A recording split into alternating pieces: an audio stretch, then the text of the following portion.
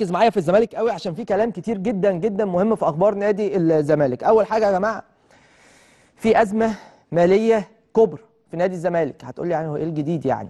ما هو الزمالك عنده إيقاف قيد وعنده فلوس لازم تدفع وعنده حاجات لازم تتعمل وعنده مبالغ مستحقة لبعض ال- الأندية آه، ومدربين ولاعبين سابقين وكل هذه الأمور وخالد بوطيب ومش خالد بوطيب والكلام من ده.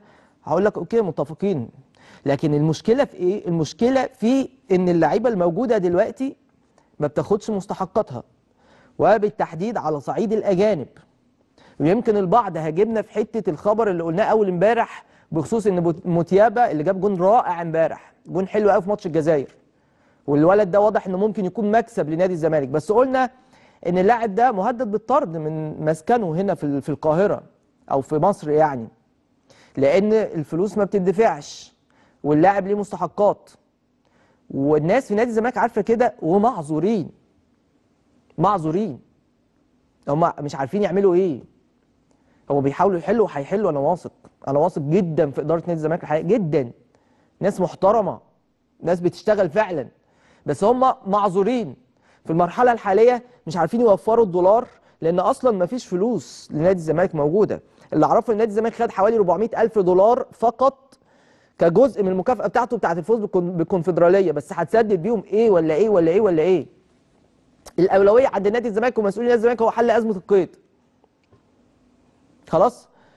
فدي مشكلة. الزمالك اتكلم أنا بقول لك معلومات. الزمالك اتكلم أو الناس ناس الزمالك اتكلموا مع اللعيبة الأجانب. الراجل سامسون أكنولي تقريبا كان بياخد 500 600 ألف دولار نزلوا له 350 ألف دولار والولد موافق. الراجل إبراهيم انداي بياخد تقريبا ما يقرب من مليون دولار تقريبا حوالين المليون دولار. النادي الزمالك بيتكلم معاه في إنه ينزل كل المبلغ ده ل 250 ألف دولار. أنا بقول لك ده تطفيش. لأن كده كده أصلا الراجل جوميز مش عاجبه الأجانب غير حمزة المسلوسي والجزيري. بس وعنده حق. بس هو برضه عايز يطلع بال... هو ر- مفيش مدرب مش عايز ينجح فيقعد يدور على أفضل اللعيبة. للأمانة الشديدة الاجانب في نادي الزمالك أيضا مش مش افضل حاجة مش أيضا يعني في الأهلي الاجانب كويسين ما عدا مودست تمام؟ والدرجات متفاوتة لكن في الزمالك مفيش غير الجزيري والمسلوسي والمسلوسي رقم واحد. الراجل متيابة تحت السن. إبراهيم انداي وسامسون كل سنة وأنت طيب مفيش أي رجا منهم. فبالتالي أنت بتحاول تتفاوض معاهم إن هم ينزلوا مستحقاتهم أو ينزلوا عقودهم لو هيستمروا. بس حتى في المدد المتبقية من العقود وده هيكون صعب شوية. فمفيش فلوس في نادي الزمالك. دي مشكلة. طب خش على حاجة غاية في الأهمية. ليها علاقة باللاعب الواعد جدا محمد شحاتة والمميز جدا. لعيب مكسب حقيقي لنادي الزمالك. نادي الزمالك طبقا للبنود اللي موجودة في العقد. إحدى البنود اللي موجودة في عقد اعاره محمد شحاتة من الطلائع لنادي الزمالك هو أثبت كفاءة الولد ما شاء الله عليه إن طلائع الجيش له طبقا المعلومه اللي عندنا له الأحقية في بيع اللاعب بعد دورة الألعاب الأولمبية لو اللاعب تألق وجاله عرض من بره.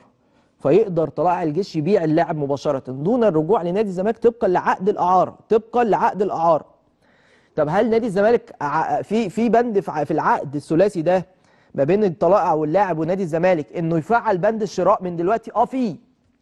يعني دلوقتي لو عايز يدفع نادي الزمالك 15 مليون اللي هم بقية المبلغ كله اللي هو كان 20 مليون جنيه خمسة اتدفعوا في الاعاره و15 يدفعوا في حالة آه، نية نادي الزمالك في تفعيل بند الشراء فيقدر دلوقتي نادي الزمالك يدفع 15 مليون جنيه ويحافظ على اللاعب ايا كان بقى تالق إن شاء الله بإذن الله واحد يتألق آه، في آه، في دوره الألعاب الأولمبية أو لم يتألق فأنا كده كده اللاعب ده بتاعي بس هبعد عن حتة المجازفة اللي ليها علاقة بإن الولد لو تألق جاله عرض من بره ففي بند في العقد يسمح لطلائع الجيش إن هو يبيع اللاعب مباشرة. طب في مشكلة في 15 مليون جنيه؟ واضح إن في مشكلة في 15 مليون جنيه حتى. برضه بسبب ال- الأزمات اللي اللي مجبر عليها المسؤولين في نادي الزمالك. مجبر عليها مجبر على حلها. بس أنت كل ما تسد حتة تلاقي حتة تانية اتفتحت. فاهم قصدي؟ فالموضوع صعب. بس أتمنى إن نادي الزمالك يلحق بسرعة خلال الأيام الحالية أو خلال الشهر الحالي.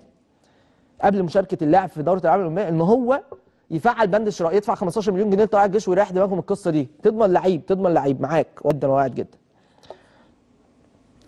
تمام؟ بس فده بخصوص موضوع آه، محمد آه، شحاتة. آه، بالمناسبة ياسر حمد ياسر حمد من ضمن الأسماء اللي هيتم الاستغناء عنها. الراجل لعب النهارده باين ماتش قدام أستراليا مع منتخب فلسطين.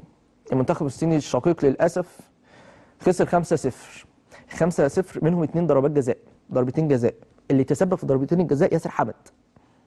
للأمانة الشديدة وسألت عدد كبير من المدربين أو سألت إحدى المدربين اللي كانوا بيمرنوا واحد من المدربين كانوا بيمرنوا ياسر حمد في المصري. قال لي كامل احترامي للولد يعني لعيب ربنا يا رب يكرمه بس أنا بتكلم في اللي اتقال لي يعني. قال لي ما ينفعش يلعب في نادي الزمالك. قال لك إحنا عندنا في النادي المصري ما كملش الست شهور ومشيناه. لأن المستوى بعيد. قال لي هو لاعب ملتزم جدا بدنيا ملتزم جدا في التدريبات مش عارف إيه لكن فنيات بعيدة قوي. فأنا مش عارف برضو فكره التعاقد مع ياسر حمد بالمناسبة اتعرض على النادي الأهلي الأهلي رفض قبل ما يروح نادي الزمالك. تمام؟ لأن كولر كان ساعتها قال لك لا ما ما مش عايز أنا عايز quality أعلى من كده. بس اللاعب واضح إن هو مش بتاع نادي. أكبر دليل على كده حضراتكم إن الراجل جوميز مدير فني نادي الزمالك ما أشركوش في أي مباراة. فبقول لك الراجل النهارده اتسبب في ضربتين جزاء. لصالح آه، استراليا. فأنا بقول لك من ضمن الأسماء الراحلة عن نادي الزمالك نادي نادي الزمالك عايزين يمشوا. ياسر حمد طبقا لرؤية جوميز سامسون أكينولا وإبراهيم أنداي. الموضوع محسوم بالنسبة لهم. ناصر منسي لو في عرض كويس نادي الزمالك هيوافق الاحتفاظ بسيف الدين الجزيري على أقل تقدير في المرحلة الحالية. فدي كلها أبرز ملامح الاستغناءات في نادي الزمالك والراحلين تحديدا. في بعض الأسماء الأخرى لسه موقفها ما تحددش فيه محمود علاء. الموقف بالنسبة له برده محسوم الراجل مش مش مقتنع إنه يكمل. في في آه، محمد أشرف رؤى كذلك.